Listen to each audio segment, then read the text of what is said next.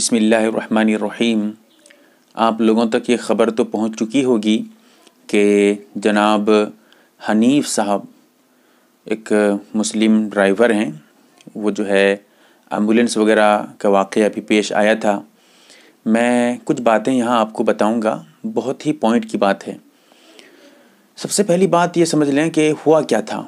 ہوا یہ تھا کہ منگلورو سے بنگلور کے لیے چھوٹی سی بچی کو لے کے جانا تھا۔ اس کی جو ہے عمر تھی صرف چالیس دن۔ اب ڈاکٹر نے یہ کہا تھا کہ اب اس کا دل بدلنا پڑے گا۔ اس کے دل میں کوئی بیماری تھی۔ میں نے اس کے بارے میں مکمل تحقیقات کیا ہے اور جو وہاں کے رہنے والے تھے ان سے میں نے رابطہ کیا کہ کیا واقعہ تھا، کیا نہیں تھا۔ اس کی تصدیق کی ہے۔ پھر اس کے بعد یہ ویڈیو کے ذریعہ آپ تک یہ خبر پہنچا رہا ہوں۔ تو ڈاکٹر سے جو ہے، ڈاکٹر نے کہا کہ اس کے دل کو بدلنا پڑے گا۔ اب جب اس کے دل کو بدلیں گے تو تبھی جو ہے یہ بچی زندہ رہ سکتی ہے۔ اب بات یہ ہے کہ دل کہاں سے آئے گا؟ دل کون دے گا؟ اتنے ہی میں خبر یہ پہنچی کہ بنگلور میں ایک صاحب ہیں جن کا انتقال ہو گیا تھا، انہوں نے کہا تھا کہ میرا دل جو ہے کسی کو دے دینا۔ تو اب آپ لوگوں کو بھی پتہ ہوگا کہ جب آدمی مر جاتا ہے تو چار گھنٹے کے اندر اندر اگر اس کے دل کو منتقل کیا جائے گا، تبھی دل اس کا کام کرے گا۔ اگر چار گھنٹے سے زیادہ ہو جائے، تو اب اس کے دل کا وہ کام نہیں ہوگا، دل اس کا کام نہیں کرے گا۔ اب ہوا یہ کہ یہ مینگلور ہے۔ مینگلورو سے بنگلور تقریباً تقریباً چار سو کلو میٹر کے قریب قریب۔ بعض دوستوں نے مجھے، جیسے میں نے تحقیق کیا ہے بعض دوستوں نے کہا کہ تین سو باون کلو میٹر ہے، کسی نے کہا کہ ساڑھے تین سو کلو میٹر ہے۔ تو اس طرح گلی ولی کچھ ہوگی۔ تو ٹوٹل جو ہے، کچھ لوگوں کا کہنا ہے کہ چار سو کلو میٹر کے قریب قریب ہے۔ چاہے آپ چار سو کلو میٹر مانیں یا اس کے قریب مانیں۔ لیکن چار سو ہے۔ ایک سو، دو سو نہیں ہے۔ اور چار گھنٹے کا وقت ہے۔ یہاں سے جب مینگلورو سے بچی کو لے کر جائیں گے اور کلو میٹر چار سو کلو میٹر ہے، کم سے کم سات یا آدھ گھنٹہ لگ ہی جائے گا۔ اور سات آدھ گھنٹے میں تو پھر دل وہ کام نہیں کرے گا، کیا فائدہ ہوگا؟ اب جو لے کے جانے والا ہوگا تو اس کو گاڑی بالکل سو سے اوپر لے کے جانا پڑے گا۔ کافی تیزی کے ساتھ گاڑی چلانی پڑے گی۔ اپنی جان کو بھی خطرہ ہے کہ ایسا نہ ہو کہ چھوٹی سی بچی کے جان کو بچانے کے چکر میں وہ ڈرائیور جو اتنی تیزی کے ساتھ گاڑی چلا کر جائے، وہ بھی ہلاک ہو جائے۔ کسی وجہ سے اس کا جو ہے ڈیتھ ہو جائے، تو یہ سب امکانات تھے۔ تو جو ڈرائیور تھے، وہ بھی جو ہے پیچھے ہٹ رہے تھے۔ چاہیں گے تو اسپیڈ سے لے کے جا سکتے ہیں۔ اور یہ ایک پوائنٹ کی بات یہ ہے کہ وہ راستے جو ہے مینگلورو سے بنگلور کے لیے، وہ بھی بہت بھیڑ ہے۔ ٹرافک بہت زیادہ ہیں۔ لیکن ایسا ہوا کہ یہ جو صاحب لے کر گئے ہیں، میں جن کا واقعہ ابھی آپ کو بتا رہا ہوں کہ عوام نے بھی بہت سپورٹ کیا۔ اور ٹرافک والوں نے بھی، ٹرافک پولیس وغیرہ نے بھی بہت سپورٹ کیا، راستے کو بالکل خالی کرتے گئے۔ تو اس طرح کا معاملہ پیش آیا۔ تو اب بات یہ ہے کہ اس بچی کو لے کر کون جائے گا؟ وہ بھی چار گھنٹے کے اندر اندر۔ تو ڈرائیور سب جو ہے پیچھے ہٹ گئے۔ لیکن ایک نوجوان جن کو میں سلام کرنا چاہتا ہوں، جن کو میں دعا دینا چاہتا ہوں، انہوں نے قرآن کے حکم کی تعمیل بھی کی ہے۔ قرآن کہتا ہے، جو میں یہ پیغام پوری دنیا کے انسانوں کے لیے دے رہا ہوں۔ کسی مسلمان کے لیے نہیں ہے۔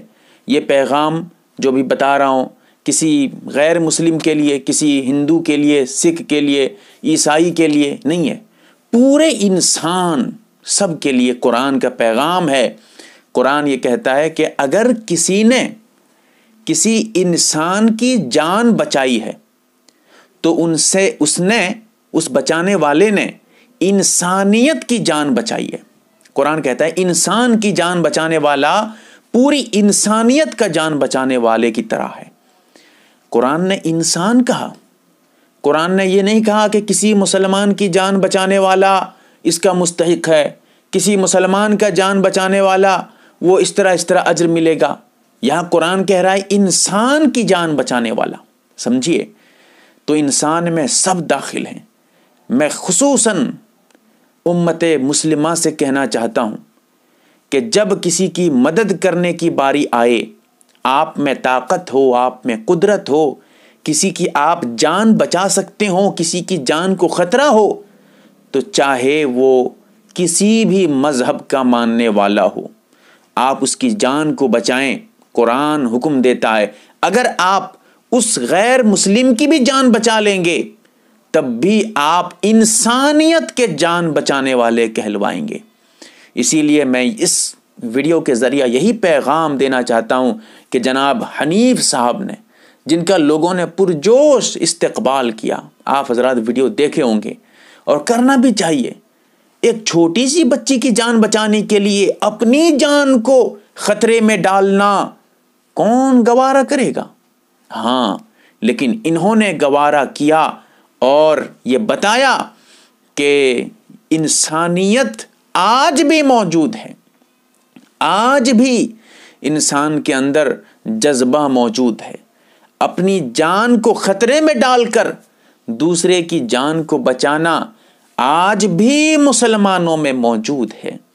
مسلمانوں کو یہ کہنا کہ یہ تو دوسرے کی جان لینے پہ لگے ہیں، سراسر غلط ہے۔ ایسی نہیں ہے، چھوٹی سی بچی کی جان بچانے کے لیے مسلمان اپنی جان کی قربانی دے سکتا ہے۔ تو بہر کیف، تو انہوں نے جو ہے گاڑی کافی تیزی کے ساتھ بنگلورو سے بھگایا، بہت تیزی کے ساتھ لے کر گئے۔ تقریباً تین گھنٹہ کچھ منٹ پہ جو ہے وہاں پہنچ گئے، گاڑی پہنچا دیے۔ پھر اس کے بعد بچی کے جو ہے ڈاکٹر وغیرہ وہاں سب تیار تھے۔ بہت چرچے میں آ گئی تھی یہ بات، تو سب تیار تھے۔ جیسے ہی پہنچے، فوراً کام ہوا۔ تو وہ بچے جو ہے، چھوٹی سی بچی تھی، اللہ تعالیٰ اس کی زندگی دے دیا۔ اب وہ زندہ ہے۔ اب جو ہے، صرف ان کی وجہ سے آج وہ صحیح سالم موجود ہے۔ بہرکیف میں آپ لوگوں سے یہ کہنا چاہتا ہوں کہ جہاں پر بھی کسی کی مدد کرنے کی پاری آئے، پیچھے مت ہٹیے۔ ہمیشہ اس معاملے میں آگے بڑھیے۔ ہمیشہ۔ میں ٹرین میں بھی آ رہا تھا، اڑیسہ آ رہا تھا، اپنے گھر آ رہا تھا۔ ٹرین میں ایسے ہی معاملہ ہوا تھا۔ دو لوگوں کے درمیان لڑائی ہو گئی۔ ٹرین والے دیکھ رہے ہیں، بھیڑ لگ گئی، دیکھ رہے ہیں۔ کوئی کچھ نہیں کر رہا ہے۔ کوئی کچھ نہیں، سب دیکھ رہے ہیں۔ دو آدمی لڑ رہے ہیں۔ ابھی بحث مباحثہ چلا رہے ہیں۔ ہاتھ ابائی تو نہیں ہوئی تھی، لیکن چلا رہے ہیں۔ لگ ایسے رہا تھا۔ اب ہو جائیں گے۔ اور کوئی آگے نہیں بڑھ رہا تھا۔ میں اوپر کی سیٹ میں تھا۔ نیچے اتر کے آیا۔ پھر جا کر ایک سے کہا کہ بھائی کیوں آپس میں کیوں لڑ رہے ہیں؟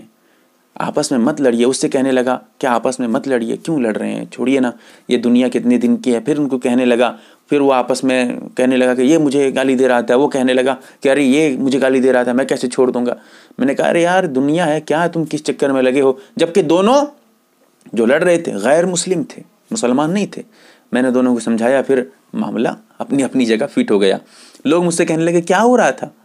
بعد میں پوچھنے لگے۔ میں نے کہا کہ جا کے خود وہاں دیکھ لیتے، کیوں مجھے پوچھ رہے ہو؟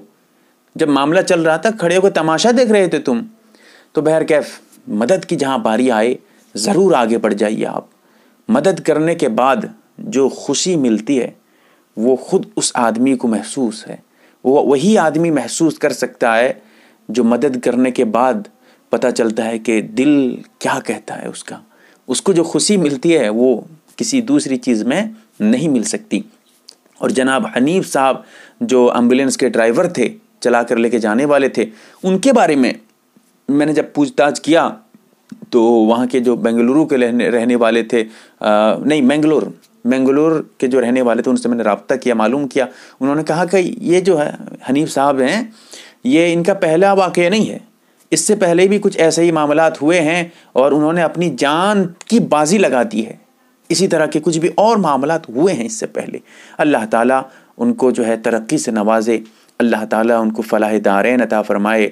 اللہ تعالیٰ ہم تمام کو قوم کی خدمت کرنے کی توفیق عطا فرمائے۔ ہمیں اتحاد اور متحد ہو کر زندگی گزارنے کی توفیق عطا فرمائے۔ آپس میں بھائی چارگی عطا فرمائے۔ آپس میں پیار محبت عطا فرمائے۔ اللہ سے دعا کریں کہ اللہ تعالیٰ ایمان کی حالت میں ہمیں اس دنیا سے اٹھائے۔ آمین یا رب العالمین۔ یم اے آر بی دینی معلومات چینل کو سبسکرائب کریں اور گھنٹی والے نشان کو ضرور دبائیں تاکہ ہماری ہر نئی ویڈیو آپ تک پہنچتی رہے۔ ویڈیو کو لائک اور شیئر ضرور کریں اور ہماری ہر ویڈیو آپ اپنی چینل میں ڈال سکتے ہیں۔ نیز ہمارے ساتھ واٹس ایپ پر جڑنے کے لیے آپ اپنا نام اور مکمل ایڈریس کے ساتھ ایڈ لکھ کر میرے WhatsApp number eight nine zero eight nine three nine three four three کو میسج کریں۔